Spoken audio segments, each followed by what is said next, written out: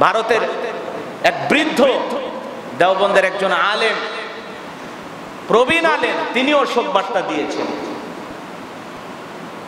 ভারতের অসংখ্য লামা ইকরাম তার জন্য অঝরে চোখের পানি ছেড়ে দিয়ে দোয়া করতেছেন। আর এদেশে একজন ইমাম, একজন আলেমের জন্য দোয়া করবে, তাকে আঘাত করা হয়। মসজিদ থেকে তার চাকরি চলে যায়, দোয়া করার কারণে। তাহলে আপনার বাবা মা মারা গেলে কি ইমামের দোয়ার প্রয়োজন নাই? হ্যাঁ? এত হারাম খোর মারা যায়, তার জন্য হুজুরের টাইনে নিয়ে যা, হুজুর দোয়া করে। মন চাই না। তার জন্য দোয়া করতে, কিন্তু তারপরে বাধ্য হয়ে ইমামতি বাঁচানোর জন্য জোর করে আপনারা দোয়া করায় নেন, হুজুর দোয়া করেন। আমরা জানি লোকটা সুদ করছিল, ঘুষ করছিল, হারামের সাথে জড়িত ছিল। এমন ব্যক্তির জন্য আপনাদের দোয়া করতে কোনো বাধা নাই, কোনো আপত্তি নাই। আর একজন কোরআনের খাদেম, কোরআনের বুলবুলি, কোরআনের পাখি।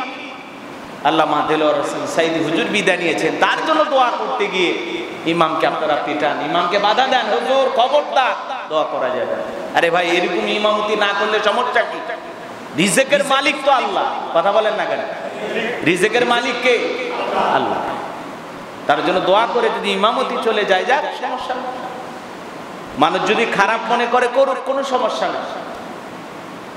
কিন্তু সে মন্দ করতেছে, আপনি মন্দ করবেন, তাহলে তো ঝামেলা আরও জটিল হবে, কঠিন হবে। এটা সমস্যার সমাধান হবে না। কারণ আপনি যদি ভালো আচরণ করেন, ওই খারাপ মানুষটাকে পরিবর্তন করে দেওয়ার মালিক কে? আমি আপনাদেরকে এর আগে বলছিলাম না, মনে নাই? সুরা হামিম আসতে তার চৌত্রিশ নম্বর আয়তে বলেছেন আমার আল্লাহ, ভালো আর মন্দ সমান হতে পারে না।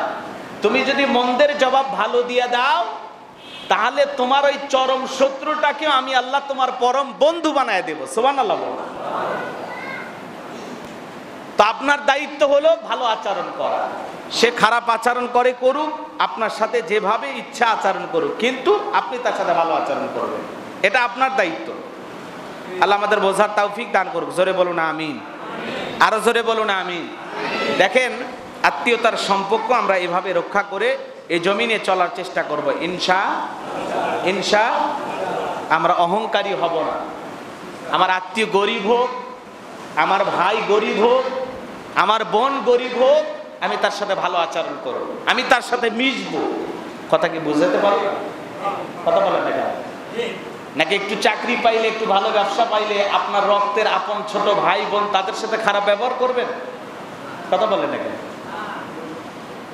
এই জন্য সম্পদে আসল সুখ নাই। মিলেমিশে থাকার মধ্যে একটা আলাদা ভালো লাগা, ভালোবাসা আছে।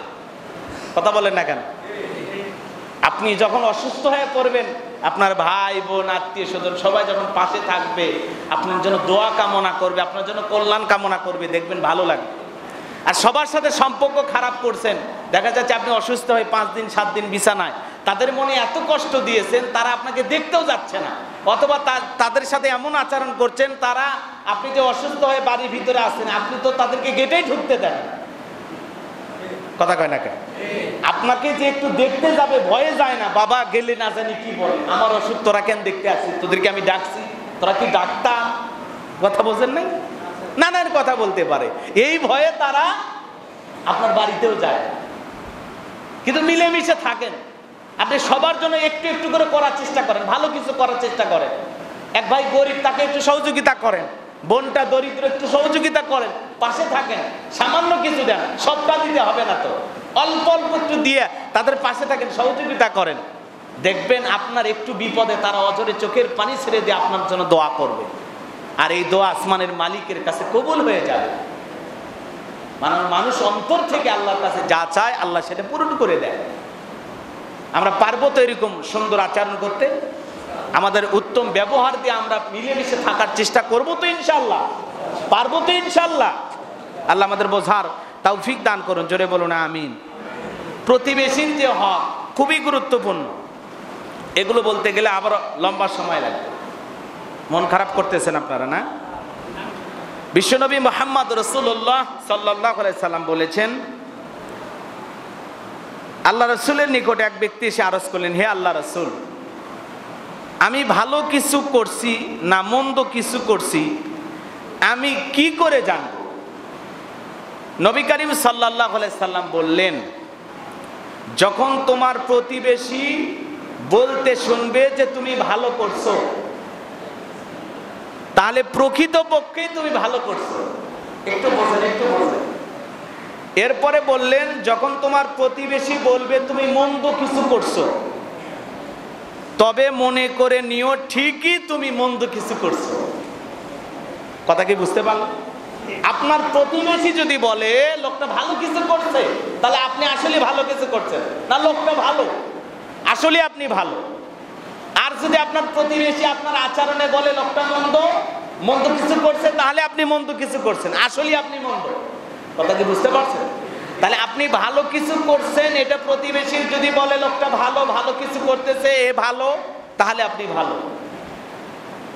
এখন অনেকে বলতেছেন, হুজুর, আমরা তো যত ভালোই করি, আমার গ্রামের মানুষ ভালো বলে না, এই সে হ্যান ত্যান নানান কথা আপনি বলতে পারেন, আপনার কিন্তু আসলেই কি আপনি ভালো, সেটা আগে বোঝেন। হাদিস শরীফের ভিতরে আমরা অনেক কিছু শুনি, কিন্তু আমল করি না। আবু জর রাজি আল্লাহ বর্ণিত, বিশ্বনবী মোহাম্মদ রসুল্লাহ সাল্লাহ সাল্লাম বলেছেন, যখন তুমি তরকারি পাকাবে, কি করবে? তরকারি পাকাবে, তখন তাতে কিছু অতিরিক্ত পানি দেবে, যাতে করে তুমি তোমার প্রতিবেশীর খোঁজ খবর নিতে পারো। তার মানে প্রতিবেশী কত গুরুত্বপূর্ণ? কত গুরুত্বপূর্ণ প্রতিবেশী? আমরা খেয়ে থাকি, ভালো খাই, কিন্তু প্রতিবেশী খেয়ে আছে না খাইন নাই? আসলে লোকটা অভাবী, কি অবস্থায় আছে? সকালে তো আমি পেট ভরে খাইলাম, আমি কি আমার আশেপাশে দুই চার বাড়িতে খবর নেই যে ভাই আপনারা খাইছেন? অমুকের বাবা খাইছেন। ভাই, আপনাদের কি খবর? সকালের খাওয়া হয়েছে? আমরা কি কখনো কারোর খোঁজ খবর নেই? কথা বলেন না কেন ভাই?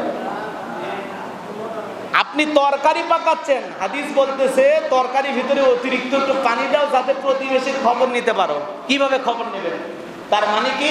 প্রতিবেশীর বাড়িতে রান্না হয়েছে কিনা, খাবার আছে কিনা, এখান থেকে অতিরিক্ত একটু সামান্য তরকারি নিয়ে তাকে যেন আপনি একটু দিতে পারেন। তার বাড়িতে যদি না থাকে, আপনি একটু যেন সহযোগিতা করতে পারেন। একটু ঝোল দিয়া, দুই চারটা আলু দিয়া সহযোগিতা করতে পারেন। রাগ করতেছেন মনে হয় না হ্যাঁ? এই জন্য আবদুল্লাহ ইবনে আব্বাস রাজি আল্লাহতে বর্ণিত তিনি বলেন রাসুল একরাম সাল্লাহ সাল্লামকে বলতে শুনেছি যে ব্যক্তি তৃপ্তি সহকারে পেট পুড়ে ভক্ষণ করে আর তার পাশে প্রতিবেশী ক্ষুধার্ত সাক্ষে সে ইমানদার নয়। সে কি নয়? ইমানদারি। নয়। এই বিষয়গুলো কি আমরা কখনো খেয়াল করছি? যে আমি যে ইমানদার তাহলে আমার পাড়া প্রতিবেশী খাইছে কিনা? দুই চার, দশ বাড়িতে, পাঁচ বাড়িতে একটু খোঁজ খবর নেওয়া লাগবে কিনা? আমি তো এটা বুঝি, যেহেতু এই গ্রামে বসবাস করি, অমুক ভালো অমুক ভালো হ্যাঁ ওনাদের ভালো অবস্থা আছে। তাহলে দুঃখী কে? এই গ্রামে দুঃখী কে? অভাবী কে? কথা কম অভাবী তো পুরো গ্রামে সবাই না। সবার বাড়িতে তো আপনার খোঁজ খবর নেওয়া লাগবে। আপনি টার্গেট করে খবর নেবেন। যে অমুক লোকটা দুঃখী, অমুক লোকটা অভাবী, তার বাড়িতে একটু খবর নেই। রাগ করতেছেন মনে হয় তো যাই হোক, শেষের দিকে আসতেছি, একটু মনোযোগ দিয়ে শোনেন। এই কথাগুলো আমরা একটু খুবই মনোযোগ দিয়ে আমল করার চেষ্টা করব।